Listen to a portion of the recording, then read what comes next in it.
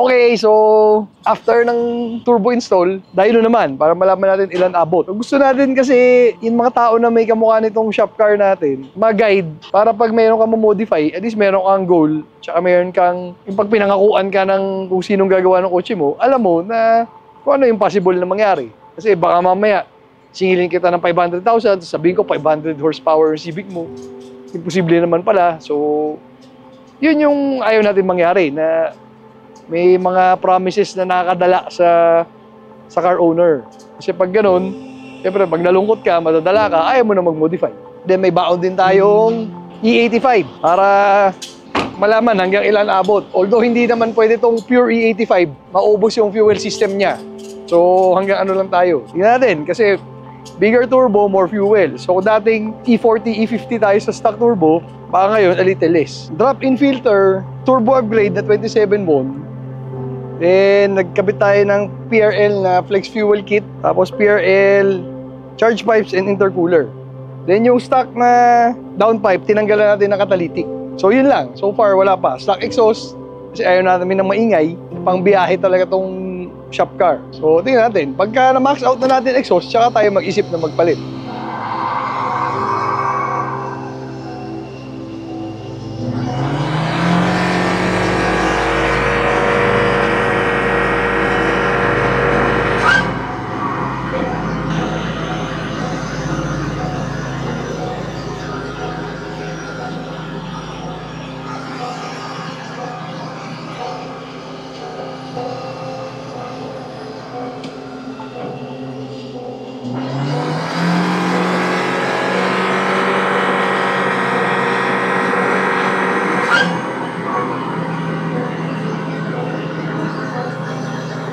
.274 wheel sa Blaze. Then, karga tayong ethanol. So, start tayo sa, try natin habulin muna mga E20.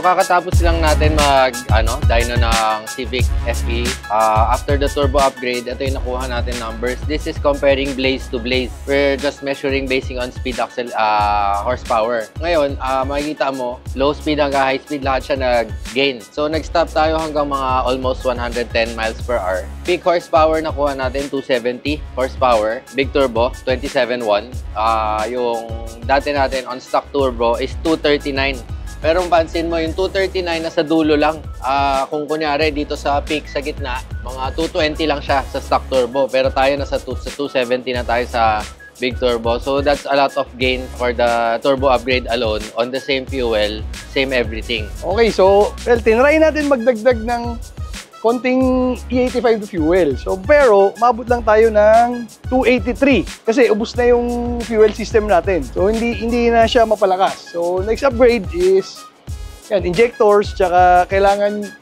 yung Civic kasi since direct injection siya, high pressure fuel pump yung kailangan, so kailangan mo mag-upgrade nun. So yun yung next. Pero ngayon, stop muna tayo sa yan, E20 yan, yung 283 wheel. Gusto lang naman natin lumapit siya sa FL5. Ba, laging yung goal kasi natin dati, yung lower model, malap, mapalapit sa mas mahal. Kasi gusto natin yung mga underdog lumalakas. Kung may, kung may track day ulit yung mga Honda Boys, de, ikot tayo ng konti sa, ano, sa Clark.